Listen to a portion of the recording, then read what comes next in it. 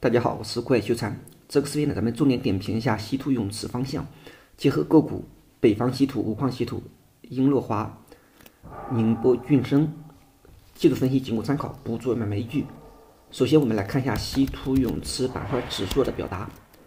那么，像稀土永磁板块指数的一个视角的话呢，咱们前面多次讲到，上方压力一九百点的位置，二九百五十点的位置，当前呢，距离压力其实已经比较接近。但是还有一点点空间，那么对应的，对于再又结合五分钟的走势结构来去看待，那么当前应该观察怎么样呢？从七百七十六点位以来，它走的可以把它当成一个五分钟的走势类型上，那么这个位置的回落，它没有破前面这个位置高点，它还是以五分钟的大线段上的一个表达。那么接下来当然要考察的一个节点是什么呢？这个位置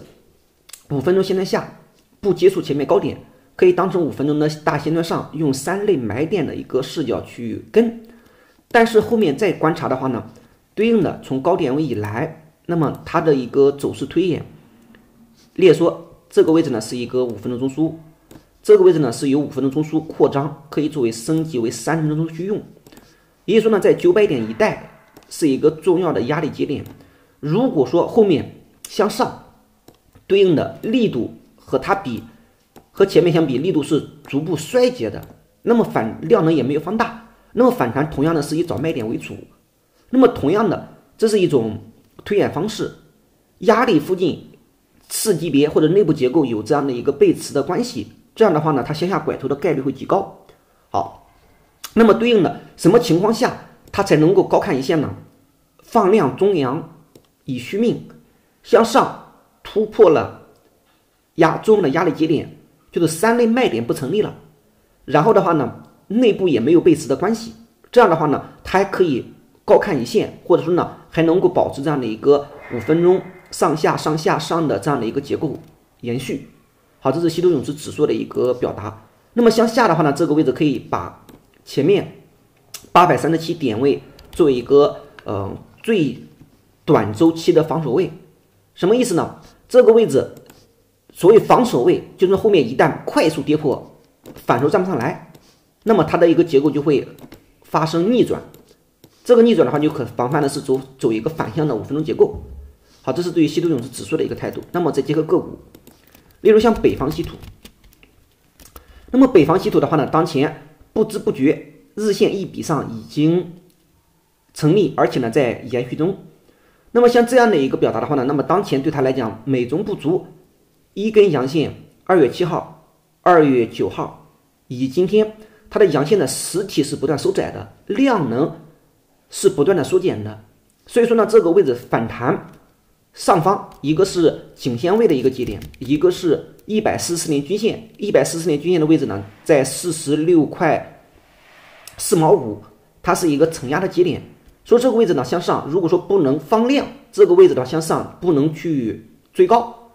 而是呢，把它作为一个破位反抽，反抽的话呢，那么再往上，如果说力度不强，这个位置以向上呢，整体来讲要找呃卖点为主了。那么再结合五分钟结构的话呢，那么它的一个剧情，当前是可以把它当成这个位置呢，严格意义上讲，这个位置只是一个一分钟中枢的延伸。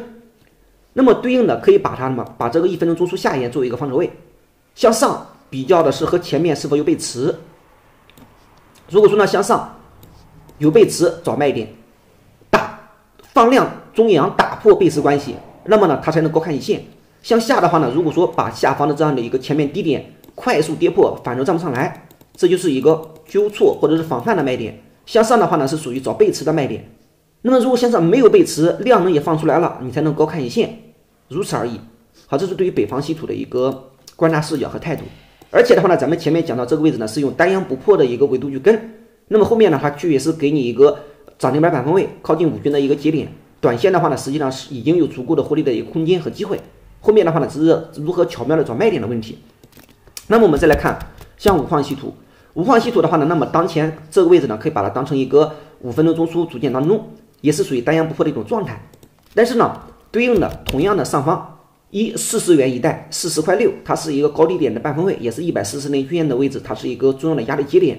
那么当前的话呢，它只要保持这种单阳不破的一种状态，那么这个位置的话呢，还能够继续去跟。然后我们再结合五分钟结构，五分钟结构的话呢，那么当前同样的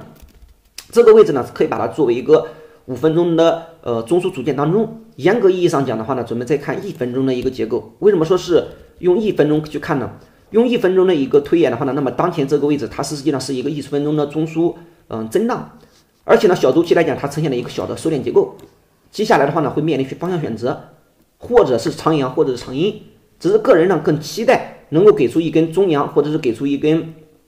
长阳。那么防的是什么呢？如果说这个位置下方把三千把三十四块钱的位置快速跌破，反正站不上来，一分钟三卖，一分钟三卖的话呢，就是你的嗯纠错或者是嗯必须要离场的一个条件。那么如果向上，同样的向上的话呢，你要观察它的量能能不能跟上，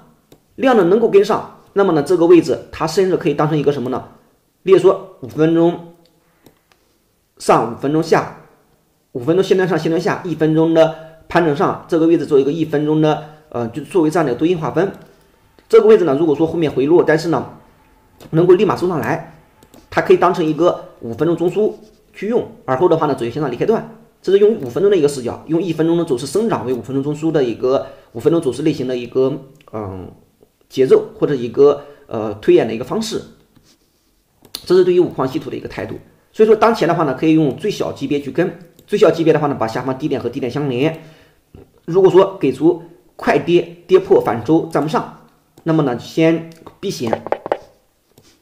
反之，如果始终呢震一震破一下立马收上来或者不破，那么最终呢看它方向选择，向上选择方向带量，那么呢高看一线；向下选择方向的话呢，那么先减，等它调整下来，内部有背驰，前低不破，再找新的低吸的节点，这就是属于节奏的一个把握。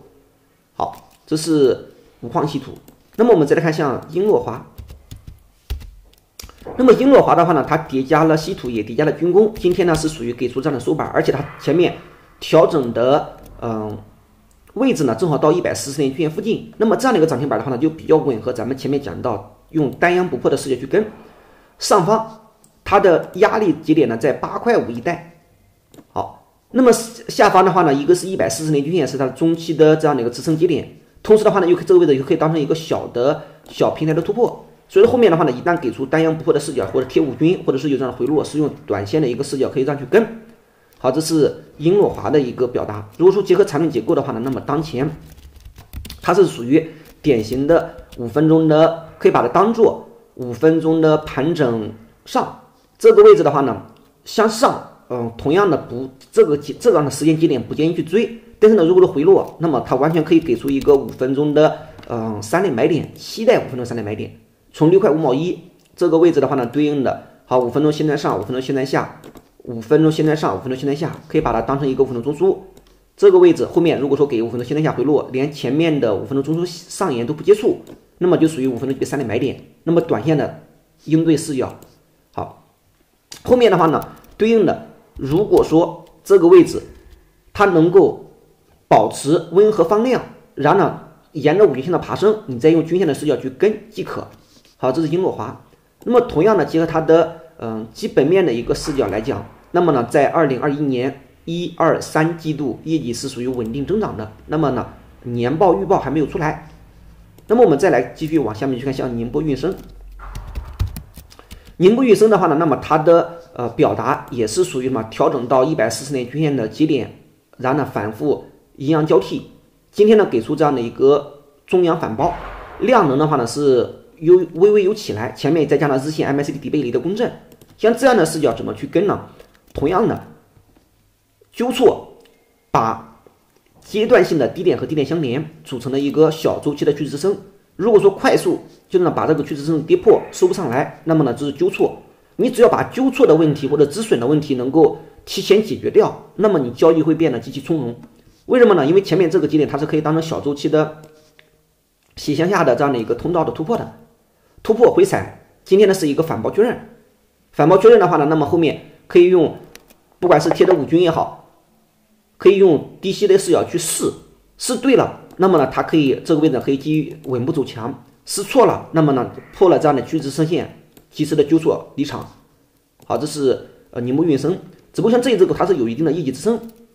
二零二一年一到十二月份归属上市公司股东的净利润四千五百万到五啊四点五个亿到五点四个亿。与上年同期增长百分之一百五到百分之二百，有一定的业绩支撑。当前的话呢，也到了这样的一个支撑的基点。如果说让纠错了，就是破了下方的这样的一个小的支撑的基点，也就是以今天这种阳线作为用单向不破的视角去跟，如此而已。它和呃英洛华的区别就是它没有涨停，而且的话呢，它的一年报预报是已经公布出来的。好，以上的话呢只作为技术交流、经验分享，不作为买卖依据。就是同样的板块，那么不同的个股，它的技术结构是不一样的，那么它的所触发的买卖点也是不同的，所以说呢，区别对待。好，这是对于嗯稀土指数以及呢北方五矿以及呢像英洛华、宁波运升的嗯产论结构下的一个推演的视角，仅供参考，不做买卖依据。喜欢的朋友呢，记得点击关注，欢迎记得留言点赞。好，再见。